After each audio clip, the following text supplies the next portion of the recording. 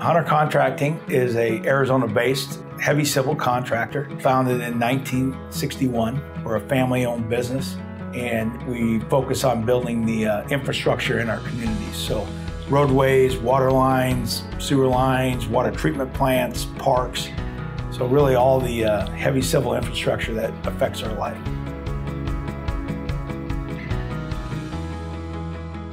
Hunter Contracting started using InEight estimating software in the early 90s. That is how all our estimates are produced within the company. Consistency is what it's brought about. That really helps us overcome our business challenges of making sure everything is done the same way, the same processes. People are familiar with it. We all know what we're looking at when we look at the information. And we know that the accuracy is there as we develop the uh, estimates what really stands out for me is the uh, cost breakdown structure in InEight estimate.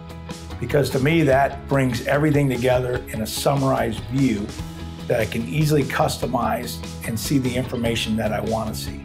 I do all the uh, bid reviews, and that just provides that summary information so I can look at consistency, I can understand how the estimate put together, and that is an extremely impactful part of the software the ability to copy from a spreadsheet into our estimating software. So setting up the bid schedule, I don't have to necessarily have in a certain format to import it. I can just do a direct copy paste from Excel.